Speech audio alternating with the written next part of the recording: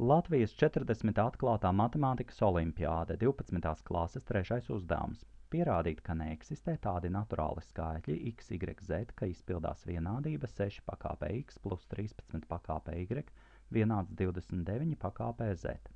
Ja mums jāaplūko šāds vienādojums, tad reālos skaitļos viņu atrisināt ir viegli. Ņemam jebkuras x, y vērtības un tad sanāks, ka z mums ir vienāds ar logaritmu pie bāzes 29 no 6 pakāpē x plus 13 pakāpē y. Bet šeit jāatcerās, ka mums interesē naturāli atrisinājumi. Tas ir tādi atrisinājumi, kur ir veseli skaitļi 1, 2, 3, 4 un tā tālāk. Tad visiem x, y, z ir jāpieder šādai kopai.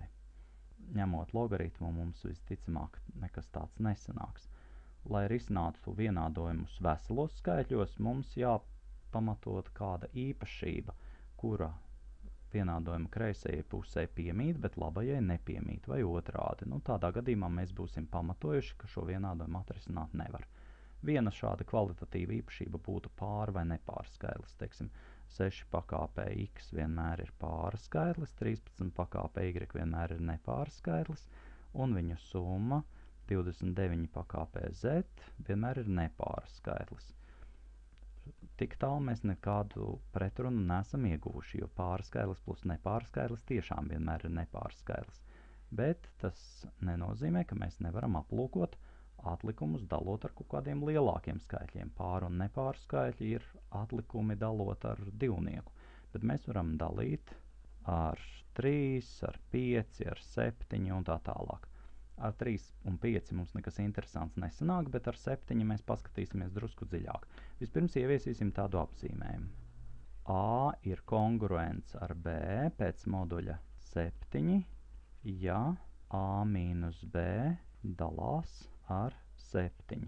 Nu, citiem vārdiem sakot, ja A un B abi dod vienādus atlikumus dalot ar 7, tad arī mēs rakstam to, ka A ir kongruents ar B pēc moduļa 7. Un skaidrs, ka ja mums ir šāds te vienādojums, tad vajadzētu izpildīties kā kreisā puse un labā puse. Ja nu viņas ir vienādas, tad viņām ir jādod vienādi atlikumi arī dalot ar 7. Tad mums ir jāvar uzrakstīt kaut kas šāds. Nu, un aplūkosim tagad atsevišķi, kādus atlikumus vai ar ko ir kongruenta kreisā puse un labā puse. Kreisajā pusē mums ir 6 pakāpe x. Nu, un sešinieki mēdz dot atlikumus tādus. Sešinieks pats ir dod atlikumu 6. Mēs varam arī pierakstīt, ka viņš ir kongruents ar mīnus vienenieku pēc moduļa 7. 6 mīnus mīnus 1 ir 7 un tas dalās ar 7. Man vienkārši ar mīnus vienenieku būs drusku vieglāk veikt aritmētiskas darbības. Tālāk 6 kvadrātā, tas ir 36 Nu, mēs varam izskaidrot, ka tas dod atlikumu 1, dalot ar 7, bet mēs to varam arī pierakstīt elegantāk, ka, ja reiz pats sešnieks bija kongruents ar mīnus viennieku, tad uh, mēs varam rakstīt, ka tas ir mīnus viennieks kvadratā, un tas ir kongruents ar viennieku pēc moduļa 7. 6 kubā ir kongruents atkal ar mīnus viennieku pēc moduļa 7, un tā tālāk mēs dabūsim sešinieku kāpinot visās nepāra pakāpēs, mums sanāks kongruents ar mīnus viennieku, un kāpinot visās pāra pakāpēs sanāks kongruents ar viennieku.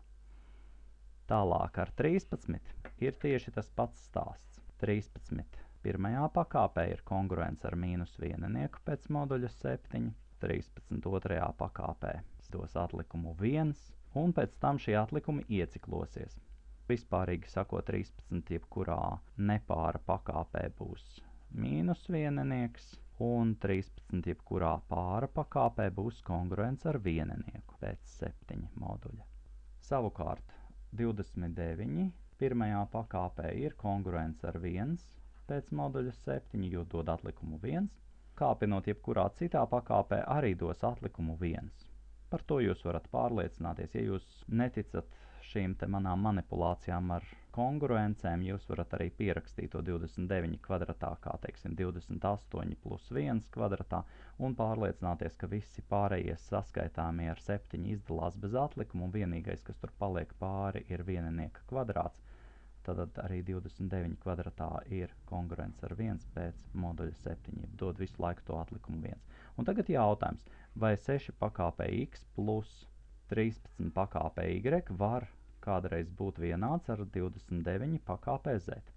Kā mēs redzējām, te nu pat tās 6 pakāpē x ir kaut kāds skaitlītis, kas ir kongruents ar plus vai mīnus vienenieku.